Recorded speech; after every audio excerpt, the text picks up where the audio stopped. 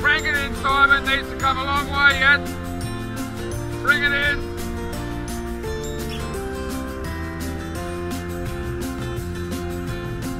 Looking good.